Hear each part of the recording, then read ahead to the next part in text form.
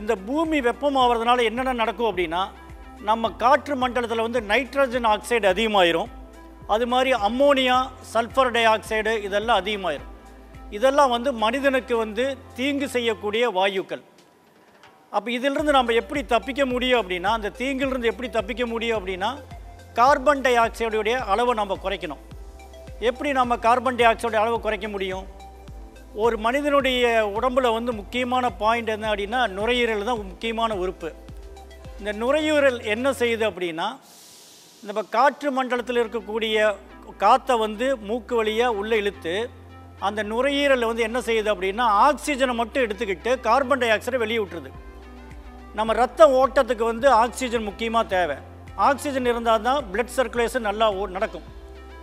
அப்போ வந்து நுரையீரல் வந்து ஆக்சிஜனை மட்டும் எடுத்துக்கிட்டு கார்பன் டை ஆக்சைடு வெளியே விடுறதுனால எல்லா மனிதர்களுடைய உடம்புலையும் இது நடக்கும். ஆக்சிஜன் எடுத்துக்கிட்டு கார்பன் டை ஆக்சைடு வெளியிடும் அப்போ கார்பன் டை ஆக்சைடு வந்து பூமியில் வந்து அதிகமாக அதிகமாக நம்ம வந்து பூமி வந்து வெப்பம் அதிகமாகும்.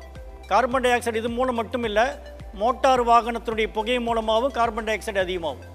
அப்போ கார்பன் டை ஆக்சைடை நம்ம குறைக்கல அப்படின்னா நாளைக்கு பூமிக்கு கொஞ்சம் ஆபத்து அதிகமாக இருக்கும்.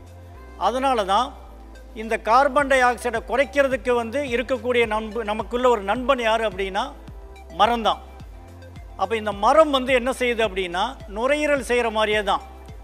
மரம் வந்து கார்பன் டை ஆக்சைடை வந்து உள்ளே இழுத்துக்கிட்டு ஆக்சிஜனை வெளியே விட்டுட்ருக்கோம் நாம் என்ன பண்ணிகிட்ருக்குறோம் மனிதர்கள் வந்து ஆக்சிஜனை உள்ளே இழுத்துக்கிட்டு கார்பன் டை ஆக்சைடை வெளியே விட்டுறோம் மரம் வந்து கார்பன் டை ஆக்சைடை உள்ளே விட்டுக்கிட்டு ஆக்சிஜனை வெளியே பூமிக்கு கொடுத்துட்ருக்கும் அதனால் வந்து மரம் வைக்கணும் அப்படிங்கிறது வந்து முக்கியமான ஒரு சம்பவமாக இப்போ உலகத்தில் மாறிட்டு இருக்குது.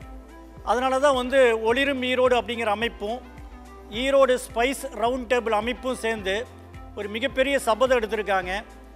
இந்த ஊரை சுற்றி ஒரு ரெண்டு மூணு கோடி மரமாவது நம்ம வளர்த்திடணும் அப்படின்ட்டு. அதுக்கு என்ன பண்ணுறாங்க அப்படின்னா நாளைக்கு வந்து ஈரோட்டில் வந்து ஒரு கோடி விதையை வந்து எல்லா ஸ்கூல்களையும் எல்லா அமைப்பு மூலமாகவும் கொடுக்குறாங்க. நம்மக்கிட்டையும் கேட்டுக்கிட்டாங்க. உங்கள் கம்பெனியில் எட்நூறு பேர் இருக்காங்க. எட்நூறு பேருமே வந்து நூறு விதையை விதைச்சிட்டோம் அப்படின்னா அந்த நூறு விதையும் நூறு மரமாகி போச்சு அப்படின்னா எட்நூறு பேர் செஞ்சதுனால எண்பதனாயிரம் மரத்தை வந்து நம்ம இந்த பூமியில் நம்ம விதைச்சிட முடியும். ஒரு மரங்கிறது ரெண்டு பேருக்கு தேவையான ஆக்சிஜனை கொடுக்குதுன்னு அர்த்தம். அப்போ நம்ம எண்பதனாயிரம் மரத்தை நம்ம வளர்த்திட்டோம் அப்படின்னா இந்த எம்சிஆர் நிறுவனம் செய்யக்கூடிய மிகப்பெரிய ஒரு புனிதமான ஒரு பணிக்காக தான் உங்களையெல்லாம் நான் கூப்பிட்டுருக்கிறேன். இந்த ஒளிரும் ஈரோடு அமைப்பும் Erode round table spice round டேபிளுங்கிற அமைப்பும் சேர்ந்து விதை சிறியது விடை பெரியது அப்படிங்கிற ஒரு திட்டத்தை அனௌன்ஸ் பண்ணுறாங்க என்னென்னா விதை ரொம்ப சின்னது தான். உங்கள் கையில் கொடுக்கக்கூடிய விதை சின்னது. அதனால் கிடைக்கக்கூடிய மரம் வந்து நமக்கு மிகப்பெரிய ஒரு ப- ஒரு ஒரு பயனை கொடுக்க போகுது. இப்போ நம்ம நாம் மட்டும் உயிர் வாழ்ந்தால் பத்தாது. நமக்கு பின்னாடி வரக்கூடிய நம்ம குழந்தைகள் வந்து நல்ல நீர் வளத்தோடும் நல்ல மனநலத்தோடும் நல்ல காற்று மண்டலத்தோடு அவங்க வாழணும்.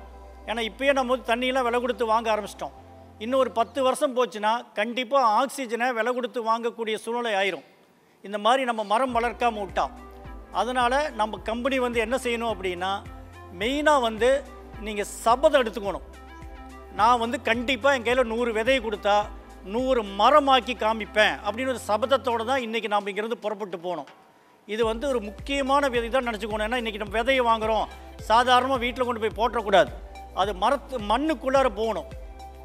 இந்த வேலையை வந்து நீங்கள் அருமையாக செஞ்சே ஆகணும். ஏன்னா இந்த டைம் வந்து மழை பெய்கிற டைமுங்க. நவம்பர் டிசம்பர் ஜனவரி இந்த மூணு மாதம் விதையை வந்து விதைக்கக்கூடிய அருமையான காலகட்டம். இந்த டைமில் வந்து நீங்கள் விதையை விதைச்சிட்டிங்கன்னா கண்டிப்பாக அந்த மூணு மாதத்தில் இந்த விதை வந்து சின்ன செடியாகி வேர் உள்ளே பூந்துருச்சு அப்படின்னா அந்த மரத்தை அந்த செடியை யாராலையும் அசைக்க முடியாது. காப்பாற்றிடலாம் யாருமே தண்ணியோட கூட தேவையில்லை. ஏன்னா மழை பெஞ்சிட்டு இருக்கிற டைமு பூமியெல்லாம் நல்லா ஈரமாக இருக்கிற டைம். இந்த இதை வந்து நம்ம எட்நூறு பேருமே நூறு ஒவ்வொருத்தருக்கும் நூறு விதையை கொடுக்க போகிறோம் எட்நூறு பேருமே நூறு விதையை நூறு மரமாக்கிட்டோம்னா நாம் வந்து இந்த உலகத்துக்கு செஞ்ச மிகப்பெரிய ஒரு புண்ணியமாக இந்த வேலையை செஞ்ச மாதிரி இருக்கும். செய்வீங்கல்ல? சரி ரைட் ஒரு மரங்கிறது வந்துங்க ரெண்டு பேர்த்துக்கு ஆக்சிஜன் கொடுக்குதுங்கிற கணக்கு இருக்குது. அப்போ நம்ம எண்பதனாயிரம் மரம் வச்சுட்டோம் அப்படின்னா கிட்டத்தட்ட ஒரு லட்சத்தி அறுபதனாயிரம் பேருக்கு கிட்டத்தட்ட ரெண்டு லட்சம் பேருக்கு உண்டான ஆக்சிஜனை அது தருங்கிறத நாம் இதை எடுத்துக்கணும். இந்த விஷயத்தை வந்து அருமையாக செய்யணும். ஒவ்வொருத்தருக்கும் நம்ம நூறு மரம் நூறு விதையை கொடுக்க போகிறோம் இந்த விதையை நீங்கள் என்ன பண்ணணும்னா ரொம்ப பெரிய இந்த விதையை கொடுக்குறப்பயே நாங்கள் ஒரு குச்சியும் கொடுத்துட்றோம்.